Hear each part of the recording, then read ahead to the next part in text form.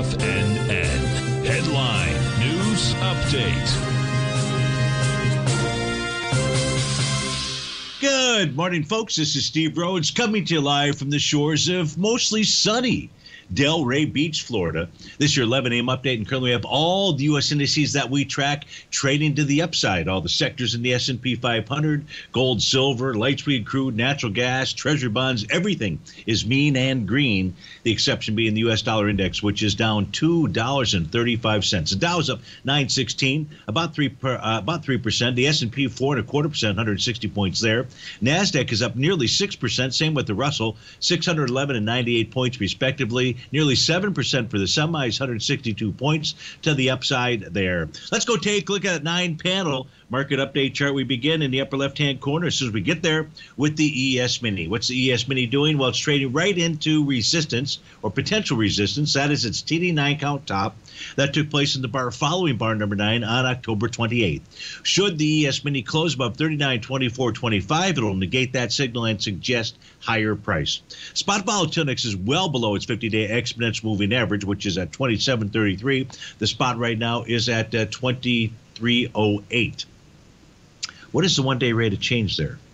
Just curious. One-day rate of change on the spot is uh, just uh, well, it's down 11 percent.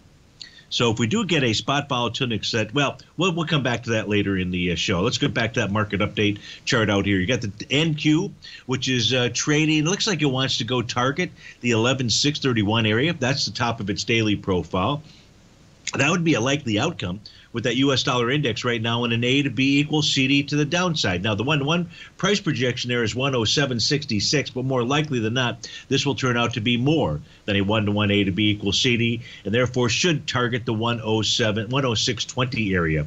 Goldilocks truly taking off, likely going to go target the top of its weekly profile. That's at 1779. Silver's got a nice A to B equals CD pattern. Its next price projection is 2209. Light sweet crude has held the support of its uh, weekly center profile level. That's at 85.62.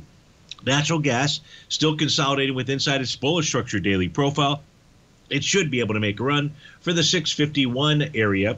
And the 30 year Treasury, it is trading into resistance. That's the top of a daily profile. Let's open up this chart right here. We haven't seen a close above the top of a daily profile, well, in quite some time. That quite some time would take us back to the trading day of August 1st, 2022.